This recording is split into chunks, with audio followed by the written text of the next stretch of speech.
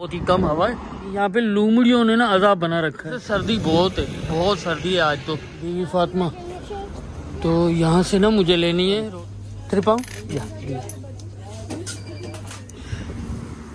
चलते हैं वापस। बिरयानी ले लेते हैं। ये इंशाल्लाह ये वीडियो आपको मज़ा दे रही होगी। लेजेंड जो ना चाँद फतेह अली खान वो इधर बैठते हैं। ना पाकिस्तानियों की होती है पाकिस्तानी यहाँ पे बहुत है। चाँद फतेह अली खान इसी गली में रहते थे। एक घर चाँद फतेह अली खान का था।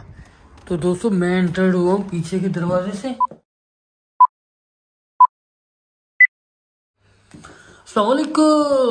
करोड़ों दिलों की जान, Chahat Fateh Ali Khan the way from London तो दोस्तों, आज की वीडियो में मैं आपको दिखाने वाला हूँ चाहत फतेह अली खान साहब कहाँ रहते हैं, कहाँ पे बैठते हैं, कहाँ पे, वो उनका पड़ोस कौन सा है।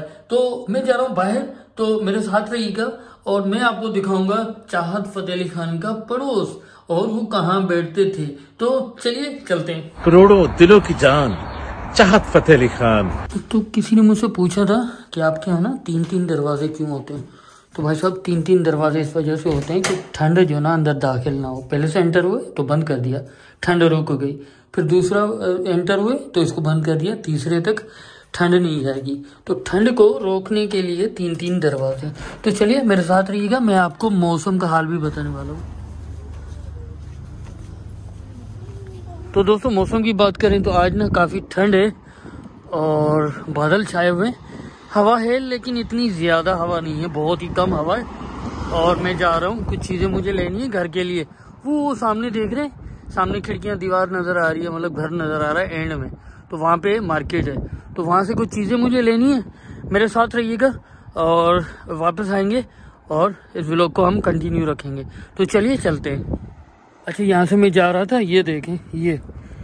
ये होती है फोक्स होती है ना फोक्स लूमड़ियाँ, वो खोद के चली जाती हैं। यहाँ पे लूमड़ियों ने ना अजाब बना रखा है। ये जो डब्बे पड़े होते हैं ना कचरे के, रात को आती हैं, इनको खोलती हैं, अपना फ़ूड तलाश करने की कोशिश करती हैं। तो लूमड़ियाँ यहाँ पे बहुत होती हैं, बहुत बहुत। तो जनाब, इस तरफ़ से मैं आया हूँ, और वो सामने ना, वहाँ पे मुझे थोड़ा सा आगे जाना है। क्योंकि ये मेरे घर के करीब ही होता है ना तो मैं पैदल ही चलाता हूँ और फिर मुझे वॉक भी करनी होती है। तो इसी बहाने वॉक भी हो जाती है। वैसे सर्दी बहुत है, बहुत सर्दी है आज तो। हवा चल रही है ठंडी और सर्दी भी बहुत है आज। तो ये शॉप है बीवी फातिमा। तो यहाँ से ना मुझे लेनी है रोटी। तो चलिए चलते हैं।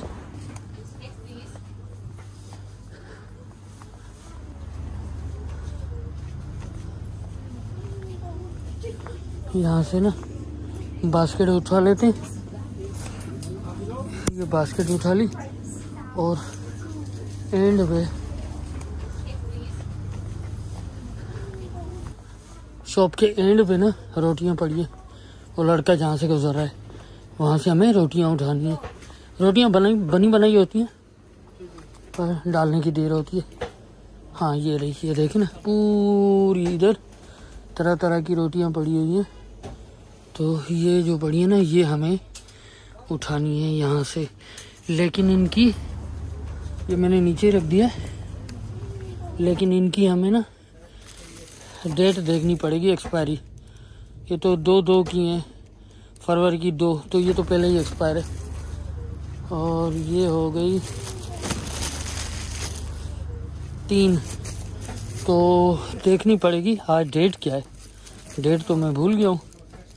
हाँ डेट क्या है। तो मुझे लग रहा है कि ये ना सारी जो ना एक्सपायरी पड़ी। हाँ ये पाँच, ये ले लेते हैं। मुझे काफ़ी सारी चाहिए। हाँ पाँच। ये छ। ये भी छ। कितनी हो गई? चार हो गई। दो और उठा लेते हैं। ना छ और ये भी छ छः छः की मैंने उठा ली। छ छ मतलब छः फरवरी को ये एक्सपायर होंगी। ये पाँच को नहीं है, ये चेंज कर लेते।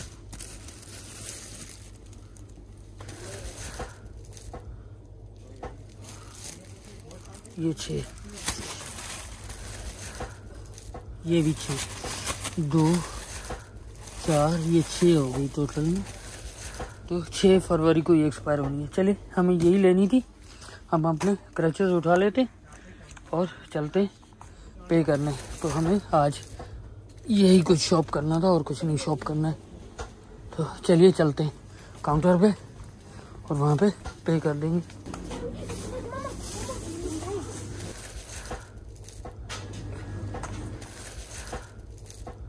Mom.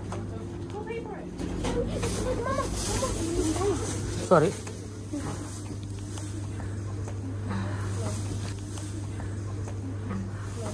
Hi, dear. Sorry, man.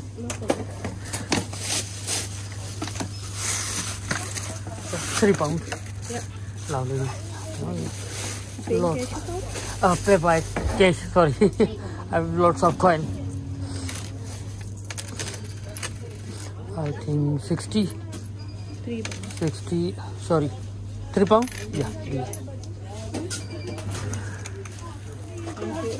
thank you madam yes thank you thank you so much for kind of you thank you तो रोटियाँ हमने ले ली। चलते हैं वापस। आज हमें यही कुछ लेना था।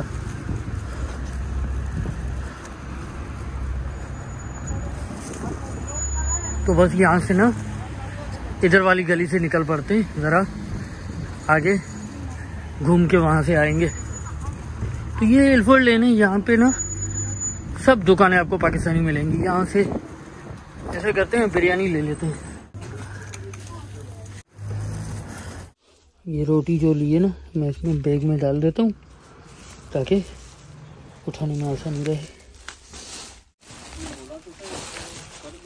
मुझे तो अंदर देते हैं इसकी। चलिए ये डाल दी, चलते तो चीज़ें हमने सारी ले ली हैं, वापस चलते हैं।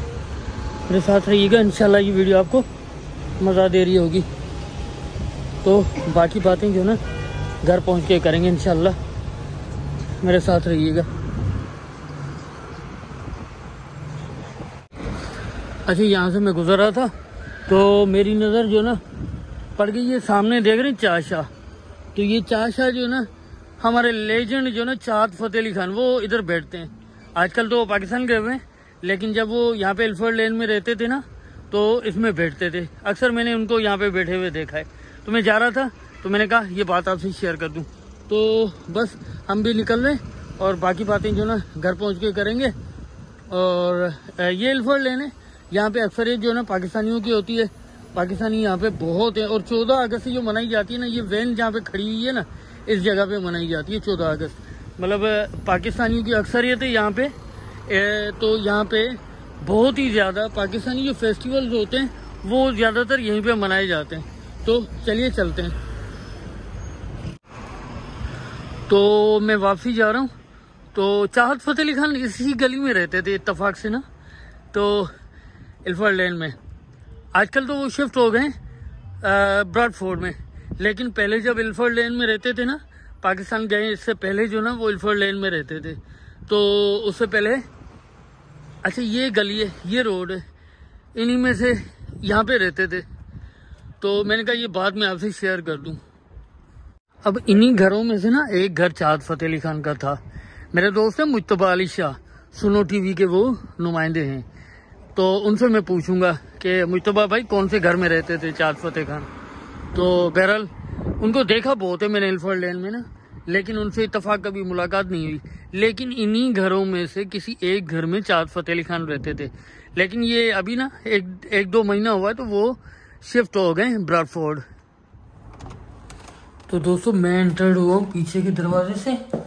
तो असल में ना, आगे के तीन दरवाजे हैं। उनको खोलना फिर बंद करना काफ़ी मुश्किल होता है।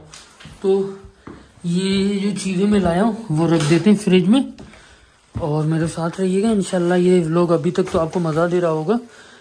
इस बैग में है मेरी चीज़ें जो मैं लाया हूँ तो बैग में से निकाल लेते हैं। यहाँ पे रख देता हूँ। तो ये सारी रोटियाँ जो है ना, मुझे फ्रीज़र में डालनी है। तो फ्रीज़र काफ़ी खचा खच भरा हुआ है। इसका एक खाना जो ना, उसको खाली करता हूँ और इसमें रोटियाँ जमा देता हूँ। अब ऐसे करते हैं, इधर जमाते जाते हैं ना, इसमें, इस जगह पे ना तो आई थिंक सही रहेगा। ये मीट पड़ा हुआ है मीट नहीं, बल्कि चिकन चिकन पड़ा हुआ है। तो सारी इधर फ्रीज कर देंगे हम। फ्रीज से ये होता है कि जब दिल किया, रोटी निकाली और खा लिया तो काफ़ी बेहतर रहता है। तो ये सारी मैं इसमें जमा लेता हूँ। तो ये हमारी तीन चार दिन चल जाती है। हमने सारी इसमें लगा दी। अब जब भी ज़रूरत होगी ना, इनको निकाल के डीप रोस्ट करके, और ये जो पड़ा है हमारा टोस्टर इसमें गरम करेंगे तो रोटी तैयार हो जाती है।